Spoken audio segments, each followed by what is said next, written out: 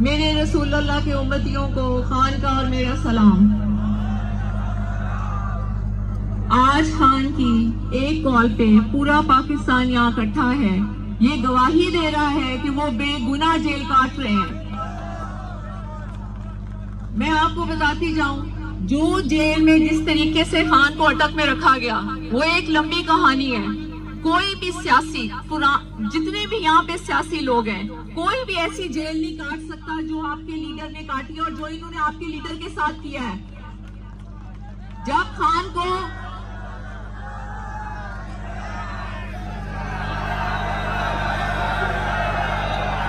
सुने, सुनिए।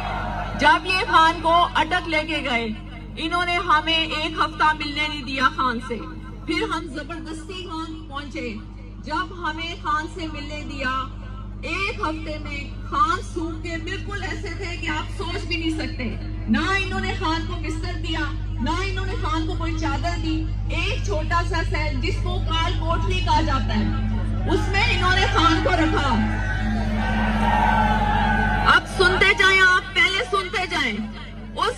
कोठरी में खान को रखा। और वो इतनी गंद से भरी हुई थी कि आप उसका तस्वुर ही नहीं कर सकते। खान को ज़मीन पे सुलाया जाता था। फिर जब मैं गई, खान ने खुद कुछ नहीं बताया। मैं उनसे पूछती थी, आपकी आँखें क्यों सूजी हुई है? वो कुछ नहीं हुआ। मैं कहती, नहीं, आप बताएँ आपकी क्या आँखें क्यों सूजी हुई है?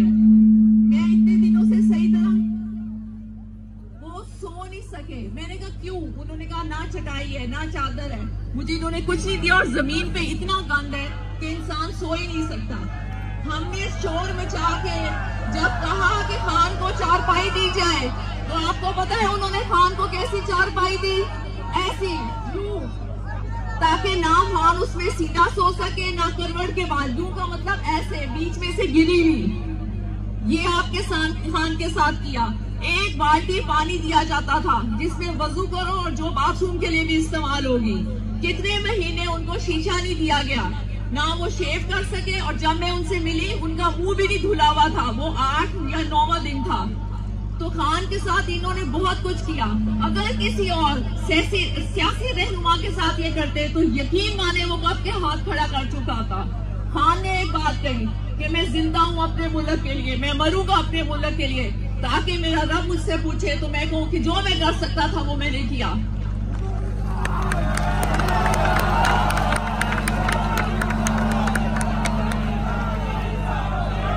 फिर सुने पहले, सुने। सुने। और अब अडियाला जेल में। सुने। अडियाला जेल में। इन्होंने खान को अंधेरे में रखा। आप मुझे बताएँ एक्स प्राइम मिनिस्टर के साथ कौन ऐसे करता है? कोई और शास्त्री जमात का लीडर होता, वो डील करके कब तक अपने घर में बैठा होता। और खान, सिर्फ़ आप लोगों की वजह से खड़ा है और खड़े रहेंगे। अब आप लोगों ने ये वादा करना है कि जब तक खान हमारे बीच में नहीं आ जाएँगे, आप डीचों को नहीं छोड़ेंगे। और ये मेरा आपसे वादा है कि मैं आखिरी औरत होंगी, खान को लिए बगैर डी चौक से नहीं निकलूँगी। और अगर आपको कोई ये कहे कि बीवी छोड़ के चली गई है तो ये झूठ होगा।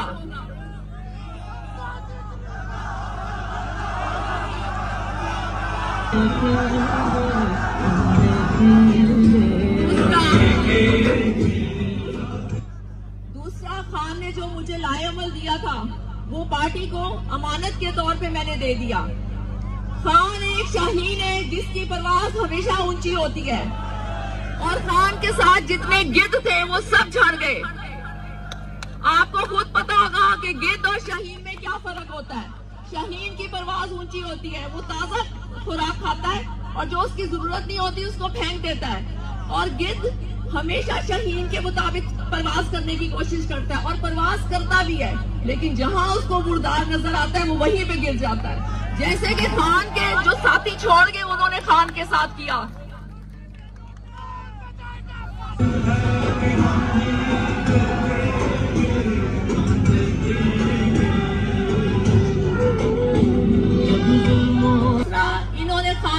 के साथ क्या किया? ये मैं आपको हलफन बता रही हूँ। इन्होंने मुझे खाने में हारपिक खिलाई।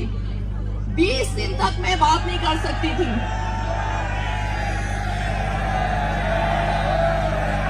लेकिन उसको छोड़ें, क्योंकि हमारा फोकस होना चाहिए हमारे लीडर खान के ऊपर। बस। मैं इस्लामाबाद और पिंडी के लोगों से ये अपील करती हूँ कि आप लोग खुदारा अपने घरों से निकले।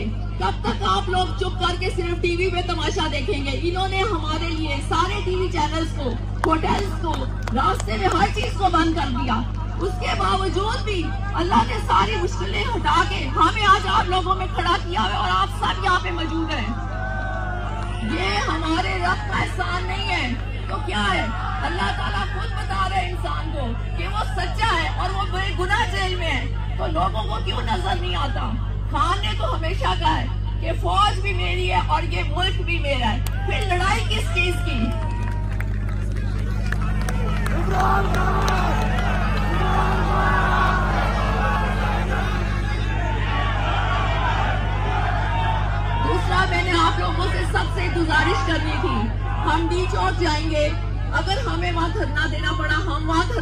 देंगे अगर किसी को खाने की कमी हो, पानी की कमी हो तो आपने वो जगह नहीं छोड़नी। क्योंकि ये हक के खिलाफ होता है। अल्लाह आजमाता है। अल्लाह ने जब तक नहीं चाहेगा कोई भूखा नहीं रहेगा।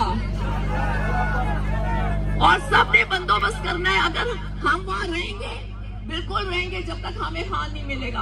आप सबने टेंट्स का भी बंदोबस्त करना है। दूसरा मेरी इंतजामिया से अपील है। कि मुसलमान भाई मुसलमान को नहीं मारता। ये पुरअमन लोग हैं, हम पुरअमन तरीके से आ रहे हैं। फिर आप हम पे शेलिंग क्यों करते हैं? जबकि हम खान सिर्फ़ हक और सच की आवाज़ के लिए लड़ रहा है। आपको नहीं पता कि वो हक के लिए खड़ा है। फिर आप शेयरिंग क्यों करते हैं? फिर लोगों को जख्मी क्यों करते हैं? इस्लामाबाद और पिंडी, ये आपके पास आखिरी मौका है। आपको अपने मुल्क के लिए निकलना पड़ेगा। और जो काफिले पाकिस्तान में यहाँ से पहुँचे हैं, आपको उनका ख्याल करना पड़ेगा। और आप सब वादा करें, हलफ लें कि खान को लिए बगैर अब कोई नहीं जाएगा।